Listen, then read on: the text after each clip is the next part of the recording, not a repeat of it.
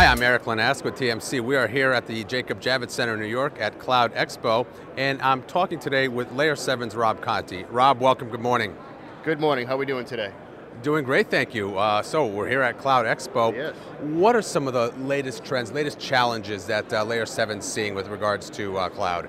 You know, so I, I, think some of the latest challenges um, that we're talking to a lot of our customers with, providing a lot of great enterprise solutions, you know, for you know, companies that are looking to, you know, open up their enterprises in a secure, you know, manner using, you know, some modern technologies uh, and approaches such as APIs and, and REST. So we provide, you know, a comprehensive set of solutions to allow enterprises to securely connect and expose data uh, in various formats, uh, various technologies, again, in a very secure, you know, manageable and efficient way.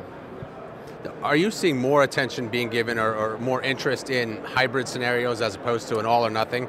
Yeah, we're definitely seeing a lot of hybrid scenarios where companies have on-premise applications where they're using layer seven um, to not only securely integrate those applications and expose those applications, uh, maybe using APIs to maybe mobility channels, existing web channels, or maybe even partner or developer channels, but they're also in a very you know, transparent, but again, secure way, you know, taking some of the data sets and some of the consumers that may reside on premise and allow them to unlock you know, some of the digital assets that may be you know, resident in an external cloud.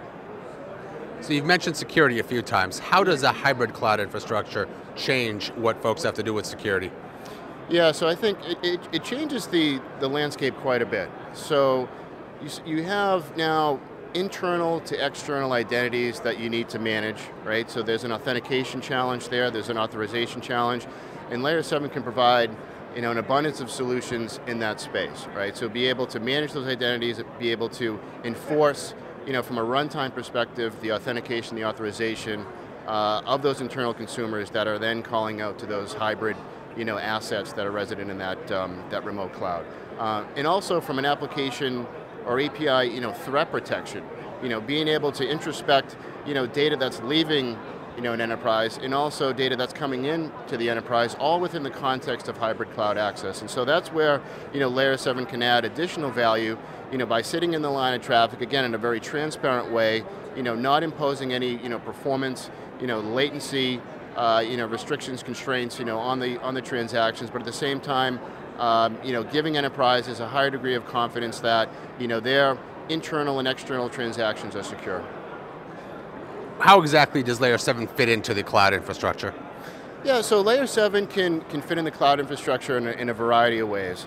Um, so, you know, we talked about hybrid cloud, so we, we enable enterprises to participate uh, and erect an, a hybrid cloud uh, architecture. We do have a lot of customers you know, that are putting specific workloads in a cloud today, whether they be production workloads, uh, QA workloads, you know, UAT you know, workloads, and we have, um, we have instances of our technology that are certified you know, for various cloud environments. So we can actually sit you know, in a co-resident you know, way up in a cloud and again, provide those, those capabilities around you know, security, you know, integration, you know, and, and connectivity.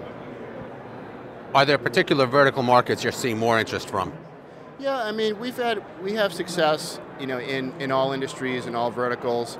Uh, you know, I think lately with the explosion of API management, um, I think we're, we're talking to a lot of telcos, you know, nowadays, a lot of pharma, you know, companies, you know, they're looking to unlock, you know, some of their data, you know, in a secure way, using, you know, APIs as a means to do so.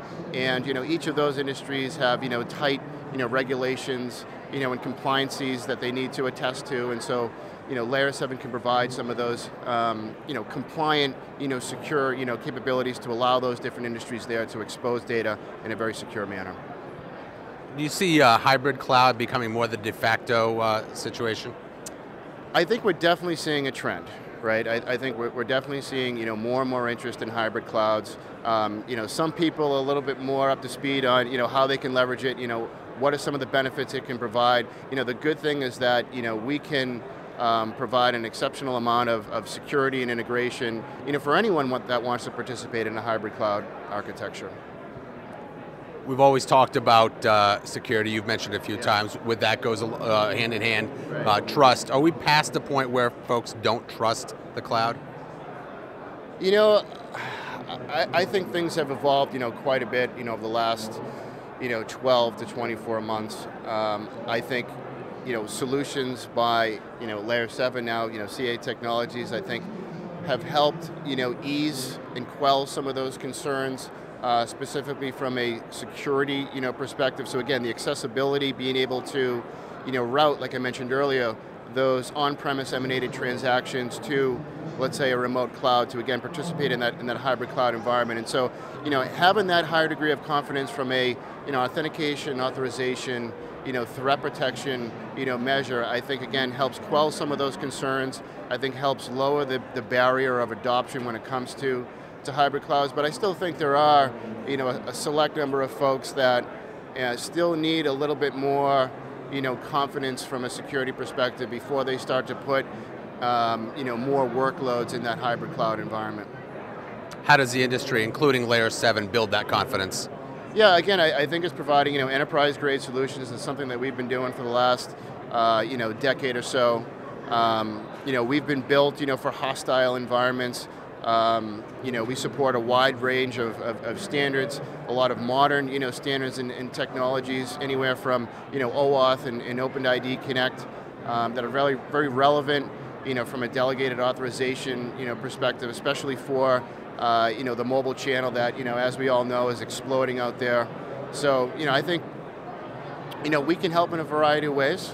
Uh, and we've been doing it for, you know, 10 plus years, and we've got um, you know, we've got a great you know, list of, of, of customers to, um, uh, you know, that depend on Layer 7 technology. Excellent. Well, Rob, thanks for joining me. We're here at uh, Cloud Expo in New York. Check out all of the TMC videos from Cloud Expo in the TMC Video Newsroom.